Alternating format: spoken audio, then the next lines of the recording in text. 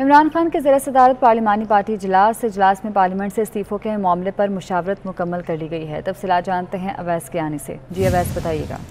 खान को इख्तियार किया जी बिल्कुल आपसे कुछ देर पहले जो है पार्लिमानी पार्टी का इजलास जो है वो ख़त्म हुआ है पीटीआई का और इसमें फैसला ये हुआ है क्योंकि इस्तीफ़ों का जो मामला है उस पर जो है मुख्तफ आरा आई हैं लेकिन डिसाइड ये हुआ है कि इस्तीफे का फैसला जो इमरान खान कहेंगे वही होगा।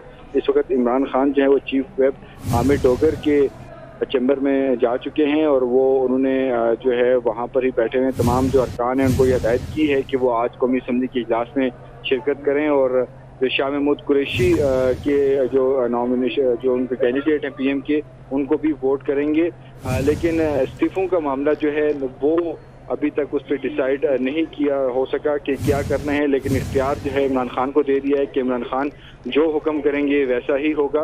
लेकिन मुतजाद चीज़ें जो हैं आज तजावीज़ देखने में आई हैं पार्लिमानी पार्टी के इजलास में, और जो मुख्तलिफ़ अरकान की जो है ये तजवीज़ थी कि हमें फ्लोर जो है वो नहीं छोड़ना चाहिए, और जो कौमी असम्बली का जो जो वहाँ पर जो सीटें हैं, हमारी अगर हमें रिज़ाइन करेंगे तो वहाँ पर ज़मीनी इलेक्शन भी हो जाएँगे।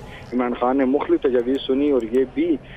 चीज़ें वहाँ पर डिस्कस हुई हैं। यहाँ पर भी ये बात कही है कि अगर हम लोग ये इस्तीफे दे देंगे तो खुला मैदान दे दिया जाएगा। इमरान खान ने कहा है कि मैं इस पर जो है फैसला करूँगा लेकिन शाह महमूद कुरैशी का जो इलेक्शन है उसमें हम लोगों को जो है इसम्बली में जाना है। तमाम अरकान को हदायत की है कि वो कौमी इसम्बली ना छोड़ें और जो कौमी इसम्बली का जो इजलास होने जा रहा है उसमें भरपूर जो है वो शिरकत करें और भरपूर जो है शहबाज शरीफ और जो जितने भी मुतहदा जो अपोजिशन है उनके खिलाफ जो है वो भरपूर एहतजाज का भी फैसला हुआ है। इमरान खान इस वक्त चीफ वेब, आमिर डोगर के जो है, चैम्बर में इस वक्त मौजूद हैं। ठीक है, बहुत शुक्रिया।